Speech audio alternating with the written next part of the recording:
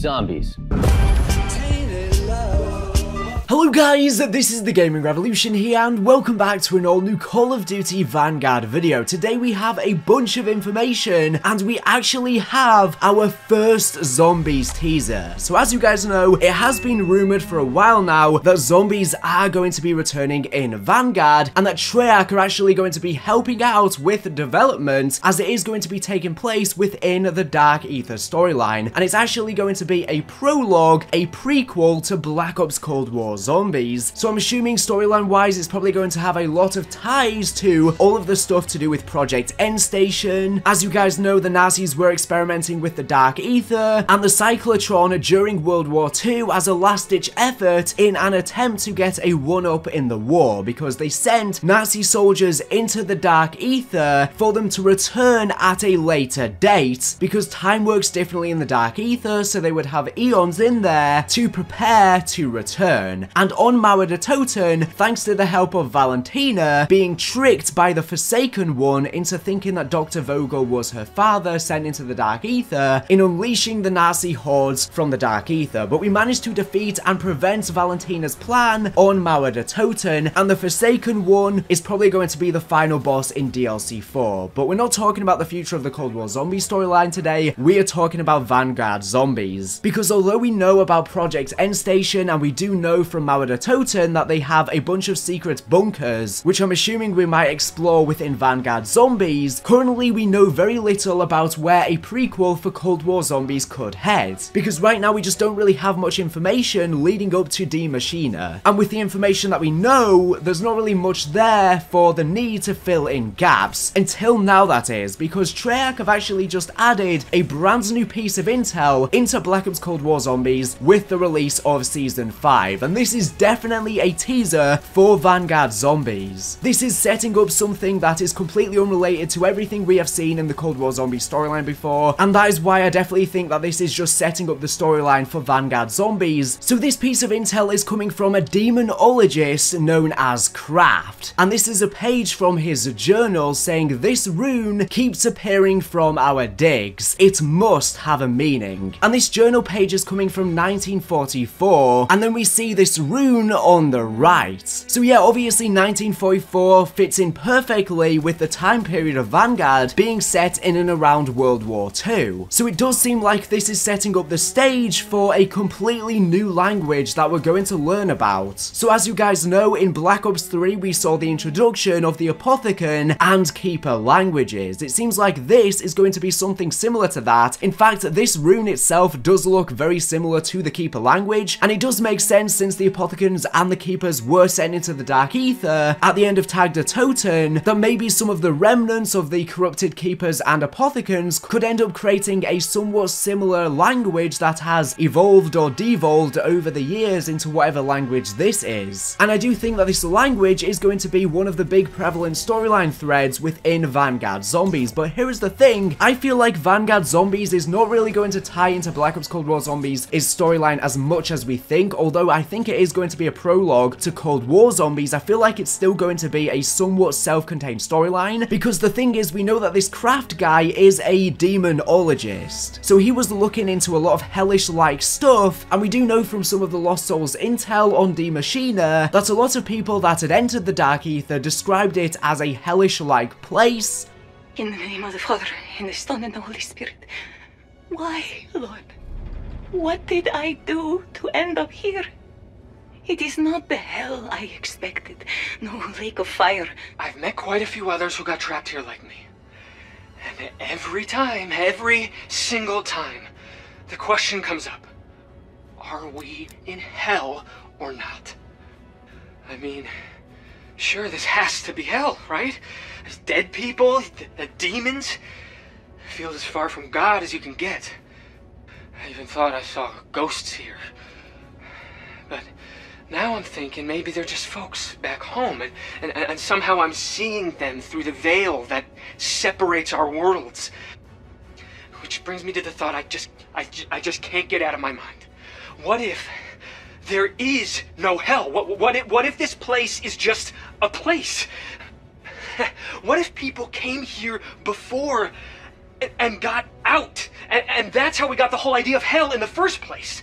And I do wonder whether the Vanguard Zombies storyline is going to be more thematically themed around hell. We do see graffiti on Die Maschine of these demon-like beings, these devil-like creatures, and considering we know that the Forsaken is going to probably be the climax to the Cold War zombie storyline, there's going to be a different threat and a different evil within Vanguard Zombies, because that was before the Forsaken managed to defeat the other Elder Gods in the Dark Aether and reign at the top of the ranks, as all of the different Elder Gods in the Dark Aether have been battling and fighting amongst themselves. You know we're on the brink of war, Elizabeth. Hey, hey, okay. A great war. And also, Vanguard Zombies is probably going to be taking place before Samantha and Eddie enter this new rebooted universe thanks to the events of Tag der Toten. This could quite literally be before the events of the collapse of the multiverse to put it into one singular timeline. And for that reason, we could literally see whatever happens to this universe play out in real time and the multiverse collapses. Because obviously all of the other universes were basically forced and shoved into the Dark Aether. So the prior multiverse was sent into the Dark Aether, so now we just have the regular world and the Dark Aether, as opposed to having a convoluted multiverse. But yeah, the thing is, with the ending of Tag der Toten, it was stated that it created a brand new universe, which is free from Element 115, as this universe has no Element 115 within it, but the thing is, Samantha Maxis and also Eddie stepped into the new universe right from their departure in 1965. Why didn't they just appear in a random time setting? In fact, why did they not just appear at the start of creation of this universe? Why did they appear right after they left from Tag der Toten? And since we're going to be seeing the events in Vanguard before Sam and Eddie entered this new universe, what was exactly happening before then? Because I'm not exactly sure how this new universe was created, but maybe all of the events prior to Eddie and Sam turning up into the new universe just happened pretty much instantaneously upon creation of the new universe, thanks to the Agarthan device. So when Sam and Eddie stepped into that universe, it was just at the time period of Tag der Toten, and that's why they're now in their 30s, as they have only been in this universe for around 30 years. So everything prior to them entering might have just happened pretty much instantaneously as the universe was created, and we could actually see those events unfold in Vanguard Zombies. I'm kind of not really making any sense here. It is a little bit confusing to follow, but since we had the Dark Aether as it was before,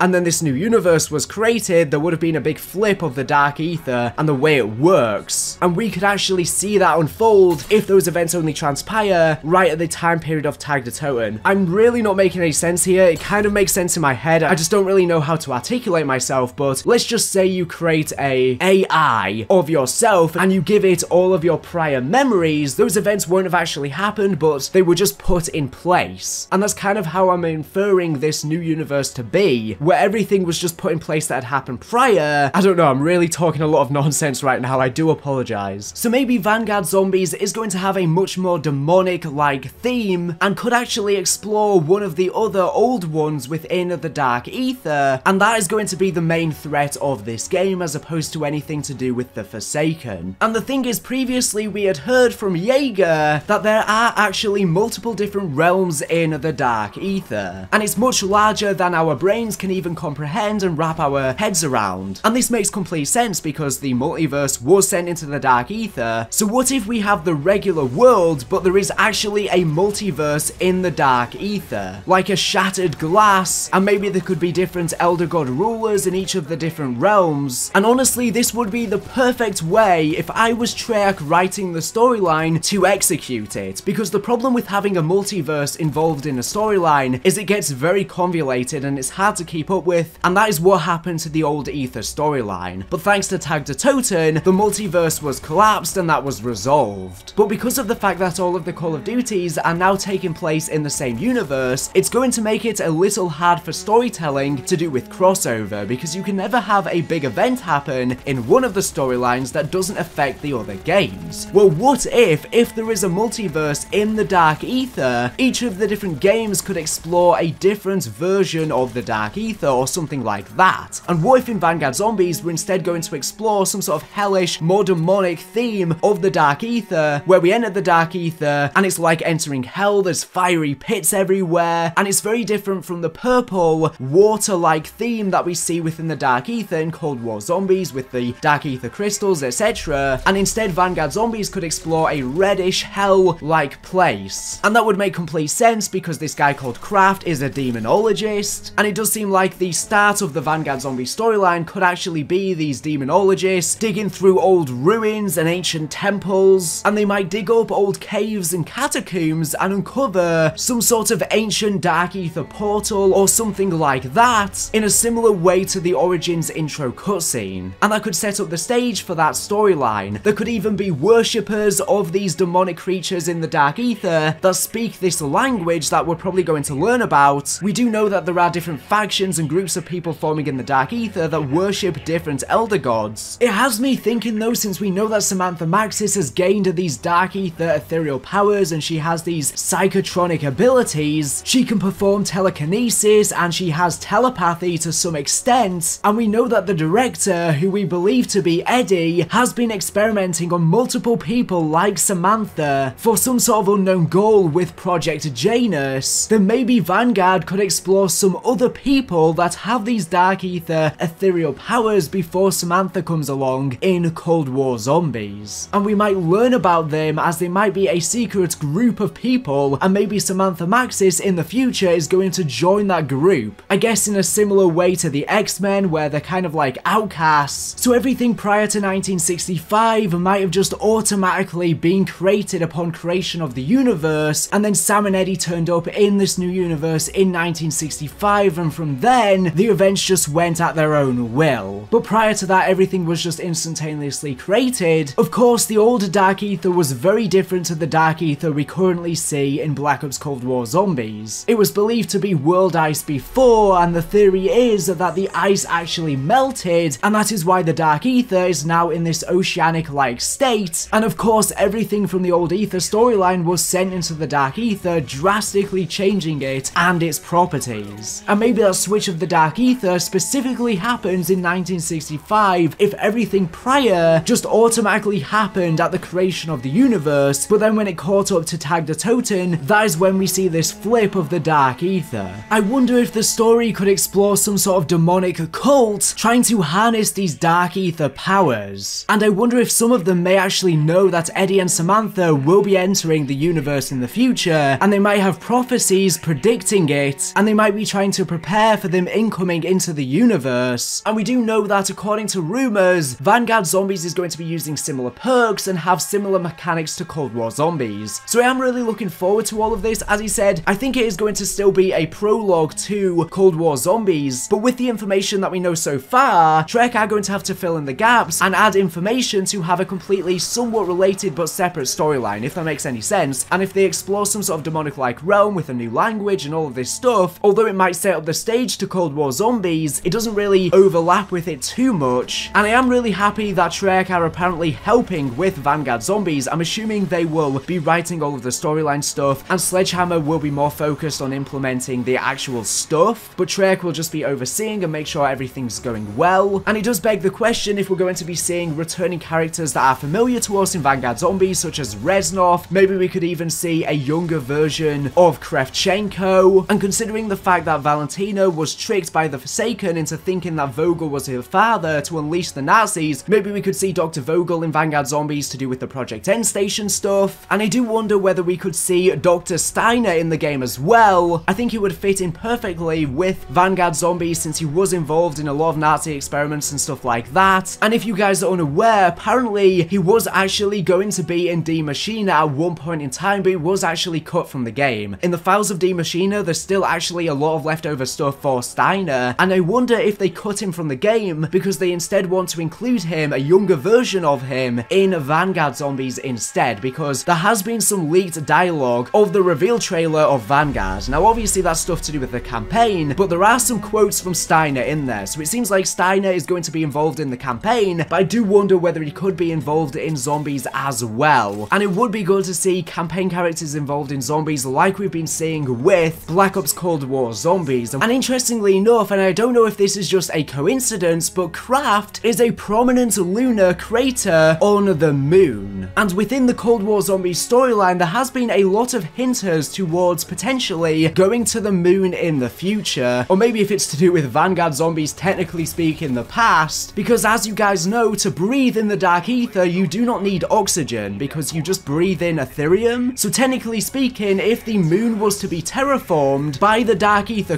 crystals that change the environment, you could potentially be able to breathe on a dark aether moon without the need for oxygen. And maybe the moon is a location of a large dark aether breach. I do think that eventually we're going to go to the moon again after we last went to it at the end of a Black Ops 1. There's just been so many clues towards the moon within the Cold War Zombie storyline. Even Omega had a lot of very similar propaganda material similar to the space race within the actual Cold War, but obviously in the Black Ops Cold War Zombie storyline, it was about sending people into the Dark Aether to harness the Dark Aether crystals in order to create technology, etc. But yeah, I'm not sure if this is completely unrelated to Vanguard Zombies, I just thought I would bring this up, and maybe his name is a pure coincidence. And it does beg the question, if Treyarch are helping out with Vanguard Zombies, are they going to be helping out with a Zombies mode in the Modern Warfare sequel in 2022? I would probably say yes, especially because the zombies overran Verdansk. I feel like we're going to see the aftermath of that. I don't really know how this is going to impact Treyarch's development, because then they'll be working on multiple different zombies games at once and it'll get a bit confusing, especially because I believe their team is pretty small for Cold War Zombies. They're definitely going to need a lot more people on board to help out. In terms of Vanguard Zombies' gameplay, because it is on the Vanguard engine, the movement's going to be more similar to Modern Warfare as opposed to Black Ops Cold War, and that's definitely going to impact the movement because they have the tactical sprint, and apparently in Vanguard, there's going to be a tactical blind fire feature, so I guess if you're low on health or something like that, you can just spray without really the need for accuracy, and I wonder how that would play in a zombies mode. And Vanguard is apparently going to have semi-destructible environments, there's going to be different hatches and stuff like that that you're able to shoot through, so are semi-destructible environments going to transfer over to the zombie side of things too? There are also rumours that some of the multiplayer maps are going to have dynamic weather changes, I would definitely like to see that in zombies, where different storm clouds may come in and it just starts raining or it starts snowing. We have seen on the past a little bit on Die Maschine with the fog rolling in, and I guess on Origins, but I think there's much more they can explore in terms of dynamic weather changes. In terms of the maps in Vanguard Zombies, since it's probably going to be Nazi zombies, we're probably going to see some very classic-like maps, similar to Die Maschine where it's based around different bunkers. I would like to see some crazy maps though. I honestly prefer that kind of stuff, like Gorod Krovi with the dragons flying around. Some people don't really like that fantasy over the top stuff, but I personally don't mind it. This is kind of off topic, but one map that I would love to see returning in Vanguard Zombies is Groesten Haus. Because we're not exactly sure how many maps Vanguard is going to launch with, so if it launches with one main map similar to Die Maschine, we need something else, and I think having some small little survival maps is something that Zombies really needs, and is something that Black Ops Cold War has been lacking. Yes, it has Onslaught, and I would love to see Onslaught in Vanguard as well, but I do love Groesten Haus, and I would definitely want to see it returning, although Vanguard Zombies is not going to tie into World War II Zombies, I am pretty sure. Even though there was a reference to do with all of the Geistkraft stuff back in the day on Ruka, I'm pretty sure that was just a reused asset, since that was in a completely different timeline, unless they find a way to somehow shapeshift that into the Dark Aether storyline, but that doesn't make any sense. So I'm guessing this game will completely stray away and ignore all of that stuff that happened in Call of Duty World War II. Groesten Haus was a really fun map though because it was very small and with the World War II mechanics where when you would shoot the zombies, they would basically be stunned momentarily, giving you the opportunity to slip past them, made for a really strategic, intense and tactical, small survival map. I had so much fun playing this, honestly probably more fun than the Final Reich, and I think this is the best ever tiny survival map that we have ever gotten in Zombies history, and although we haven't seen many of them, it definitely takes the cake, and that is why I would like to see some more small maps like this in Vanguard Zombies.